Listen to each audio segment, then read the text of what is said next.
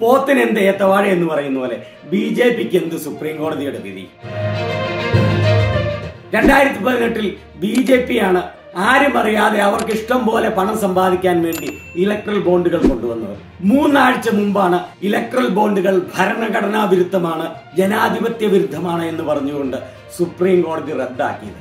അങ്ങനെ ഇലക്ട്രൽ ബോണ്ടുകൾ റദ്ദാക്കുമ്പോൾ സുപ്രീം കോടതി എസ് ബി ഐയോട് പറഞ്ഞിരുന്നു മാർച്ച് ആറാം തീയതിയോടുകൂടി ഇലക്ട്രൽ ബോണ്ടുകൾ സംബന്ധിച്ച എല്ലാ വിവരങ്ങളും ഇലക്ഷൻ കമ്മീഷന് കൈമാറി ഇലക്ഷൻ കമ്മീഷന്റെ വെബ്സൈറ്റിൽ പ്രസിദ്ധീകരിക്കണം ജനങ്ങൾക്കറിയാൻ വേണ്ടിയെന്ന്. ആരാണ് കൊടുത്തത്?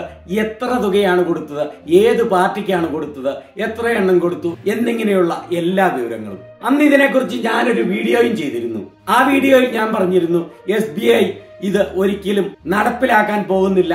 എന്തെങ്കിലും ഒഴിവ് കഴിവുകൾ പറഞ്ഞ് ഇലക്ഷൻ കഴിയുന്നോടം വരെ ഇത് നീട്ടിക്കൊണ്ടു പോകുമെന്ന്. ഇപ്പോഴിത് അങ്ങനെ തന്നെ സംഭവിച്ചിരിക്കുന്നു.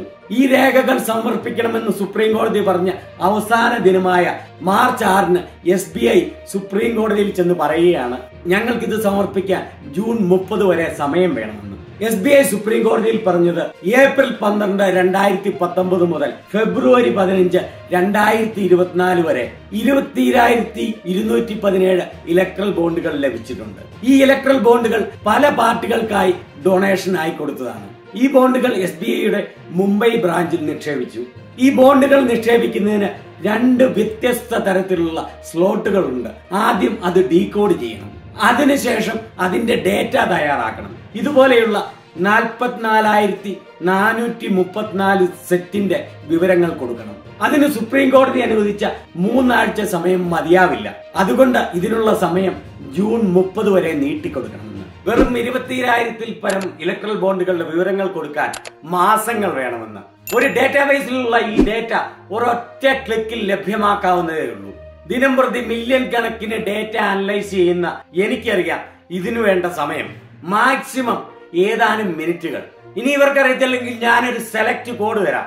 Select name designation beneficiary from electoral bonds table ഇരുപത്തിരായിരത്തിൽ പരം റെക്കോർഡുകളെ അവിടെയുള്ളെങ്കിൽ ഇൻസ്റ്റന്റേനിയസ് ആയിട്ട് അതിന്റെ വിവരങ്ങൾ കിട്ടും. എന്തുകൊണ്ടാണ് പ്രതിപക്ഷത്തിനൊന്നും ഇത് പ്രശ്നമല്ലാത്തത്? പ്രതിപക്ഷം പറയുന്നത് അതിന്റെ വിവരങ്ങൾ ഉടനടി ലഭ്യമാക്കണമെന്നാണ്. നമുക്കറിയാം ഉടൻ തന്നെ ഇലക്ഷൻ വിജ്ഞാപനം വരും.